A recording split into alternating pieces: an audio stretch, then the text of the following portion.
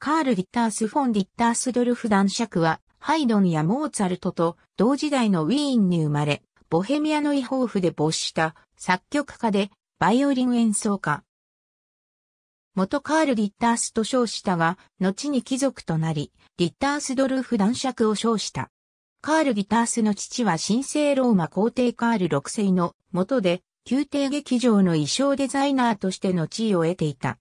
息子カールの音楽への興味に対して身近な音楽家たちを教師に頼み、息子は期待通りの成長をした。さらに、早くからザクセンヒルトブルクハウゼン講師ヨーゼフに見出され、特別の教育を受けた。コントラバス競争曲を残していることから、時にコントラバス奏者と誤解されることもあるが、実際はブルク劇場で定期演奏会が開催されていたほどのバイオリン演奏の巨匠であった。当然、バイオリン競争曲も多数作曲している。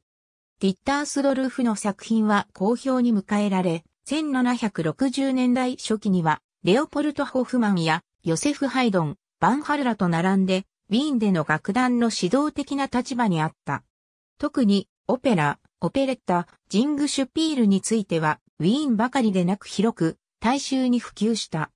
晩年はほとんど見捨てられたようになり、出版社からは出版を断られ、自分の時代が去ったことを自覚していた。最晩年の1799年に自叙伝を書いた。など多数。ありがとうございます。